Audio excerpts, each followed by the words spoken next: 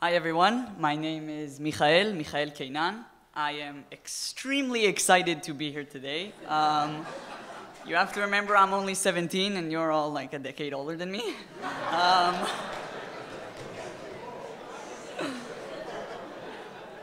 so this is a little stressful, but I'll try to make it interesting and fun. Um, so again, my name is Michael. I learned here in Jerusalem in Himmelfarb School. My principal is actually here, so hi. In the past two years, I've been participating in the Alpha program here in the Hebrew University in Jerusalem. Uh, my supervisor, Hadar, is also here, and Shira, um, the manager of this program, is also here. So again, a lot of stress. Um, I will present to you today my project that I've conducted at the university uh, in the past two years. But first, a little bit about uh, the, pro the program itself, um, because the social side of the program has been so, so inspiring and so much fun for me. The Alpha program combines social and scientific uh, science together in a way that is truly amazing.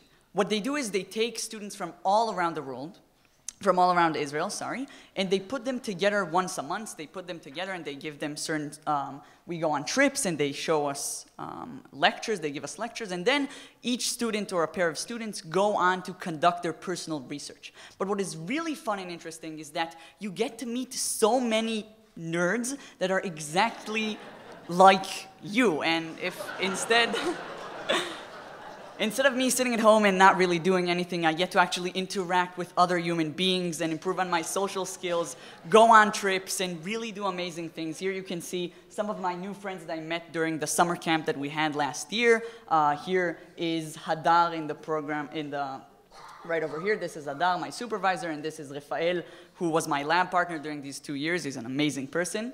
Um, and what I really want to emphasize is that Alpha managed to build a society of nerds and scientists and little children who really like to conduct science. And I got to experience many different fields, and not only math and computer science, which is what I do, but also learn about biology and chemistry and everything that I can possibly learn about. So I am just one of these students, and I'm here to introduce uh, and to tell you about my personal project. So I assume most of you are familiar with the ALS disease. The ALS disease is an, a disease that causes complete paralysis in the human body, meaning you can't move your muscles, you can't move your eyes, your legs, your hands, and it is very hard and almost impossible to communicate with the outside world. The thing is, is that the brain stays completely normal and can act as anyone as, of, of us can and can think normally. We know this because people like Stephen Hawking, who died this year, was managed to build mathematic models and amazing, write amazing books, meaning his brain was completely intact and normal. Shai Rishoni, who also recently passed away, was an ALS patient, an Israeli ALS pa patient, who worked on improving the awareness for the disease in Israel. Now, to just understand how this communication is important for these patients, I want to read to you a quote from Shai Rishoni. Shai Rishoni says this, of all the capabilities I lost over time, the ability to communicate was the most significant. Of all the fears I had in which I conquered, I am left with but one final fear, the fear of not being able to communicate, to be trapped inside my own body with a clear and full conscious mind and not have the ability to freely communicate a single thought. This is terrifying. And this is exactly why in my research I wanted to help these patients communicate in a faster, easier, and more, and more convenient way than they ever could before. So let me tell you exactly how I did that. First of all, let's start with what we have today. What we have today is an interface called the P300 Speller, which is amazing. What it allows patients to do is wearing an EEG helmet, as you can see right here.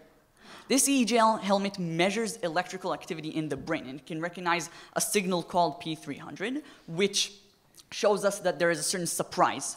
So the way this works is these patients look at this table on the screen right here, and they just focus with their brain on the letter which they want to type. They just focus. They don't need to move any muscles, only with their brain. The rows and columns in this table flash, and when the row which your letter appears in, for example, D, flashes, you can see in the brain the P300 signal. And this is truly amazing. And then the program is able to identify which letter you were thinking of, and it types it to the screen. So this allows patients who are fully paralyzed to type words and sentences and paragraphs and even complete books using only their brain. Now this is really incredible, but there is one very main deficiency, and that is time. It takes approximately 30 seconds to type one letter in the interface, which translates to 15 to 20 minutes to one simple sentence of five to six words. A simple sentence like, like I might say right now. Now, this is a lot of time. It is far from ideal for day-to-day use to these patients who this is their only way to communicate with the outside world. And this is the problem that I tried to solve in my research. Now, let's understand why this problem exists. Two reasons. First of all, unlike we as human beings communicate, we communicate using building words into sentences, into paragraphs. Here, the patients have to type one letter after another. And let's not forget about the space character, which is also takes more time. And because we want to be accurate in recognizing what letter the patient is thinking about, we need to flash many times on each row and column, which leads to 30 seconds to one character, which leads to 20 minutes for one sentence. So, this was the deficiency that I tried to solve in my research. And the idea actually to my research came from my grandfather, whose best friend is an ALS patient, and I told him about this interface. And he immediately told me, you know, I have this, this app on my phone which allows me to predict what words I am trying to type. We all know this from Google, who offers us how to complete the sentences. And he also had this special keyboard that offered him words based on the letters that he typed before. So he told me, Michael, why don't you incorporate this into what already exists? Thank you. Sorry. Um, and that was the idea that I took. And this is called a word prediction model. This is very efficient in allowing us to predict what the user is trying to type based on what he already typed. So this is how I incorporated this into the P300 interface. We start normally. We start typing your sentence like so, you type one letter after another. But then when the word prediction model gives us a small amount of words that have a high probability to be typed, and by probability I mean the word apple has more probability than the word apprehension. We use it much more. So it has more probability to be typed. So when we have this list of words, this table of letters changes into a table of words. And then the patient is able to focus not on their letter now, but on their word that they are trying to communicate. And then the rows and columns will flash, and the word will be inserted into the text. So instead of typing H-E-L-L-O, I can now able to, I'm now able to type H and then immediately hello, which is much faster. And not only that, I wanted to make sure that it's not annoying sometimes as we have on our phones, which is, we all know can be annoying. Um, so I added this return button here that allows the patient to focus on this and then go back to the letter table to make sure that it is convenient and as easy for the patient to fix his mistakes. Now, let me show you a short video of how this works. This is me here using this interface, using the EEG helmet, which is extremely amazing. And I am just focusing here on the word I'm trying to type, I am going home. You will see now this word table that I'm focusing on. It is going to start to flash. And all I need to do is focus on my word home, and it will be inserted into the text. You see that we need to flash many times, which is why it takes so long to type one letter or one word. In a second, it will finish, and then instead of typing H-O-M-E, I only need to type home, which is so much faster because now also we can eliminate the space character, which before the patients needed to type, but now it can immediately insert a space character after that. Now you may be wondering, okay, cool and all, but what are actually the results? How much is this better? Then we took six research participants and gave them two random sentences to type, once in the basic interface and the second time in the enhanced interface. And the results are in front of your eyes.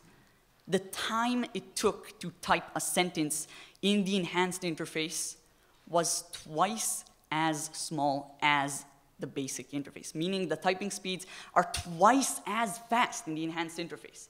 And this is incredible, and I was very happy when we discovered this, because this means the difference between 20 minutes for one sentence to 10 minutes, 10 minutes to five minutes. And we, we are cutting the time by half, and this is extremely massive and an extremely important improvement for these patients, which this is their only way to communicate with the outside world. So to conclude, what I've done in my research is I integrated a smart word prediction model that is based upon probabilities. And I made a better and easier interface and faster interface that allows these patients, these around 500,000 ALS patients around the world, to communicate with their loved ones, their caretakers, their families, people that before they had no ability to talk to, and are now able to communicate with them twice as fast as they could before.